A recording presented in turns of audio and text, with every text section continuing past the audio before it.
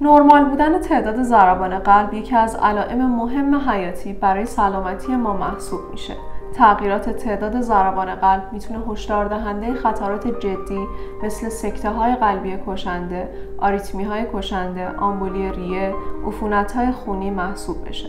برای اطلاعات بیشتر در مورد ضربان قلب نرمال تا انتهای ویدیو همراه ما باشید.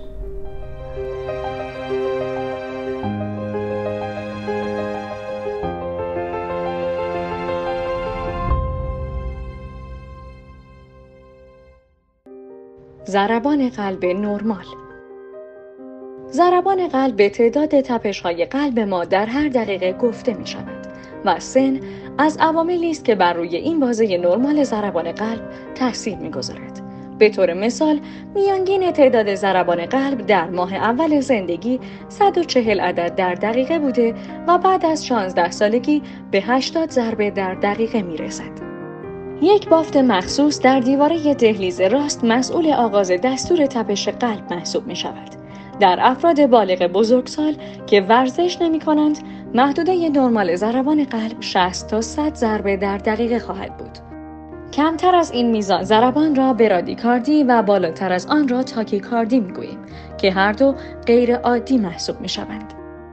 نکته بعدی این است که تنها تعداد ضربان قلب حائز اهمیت نبوده و ریتم انقباض و انبساط عضله قلب نیز بسیار حیاتی محسوب می شود.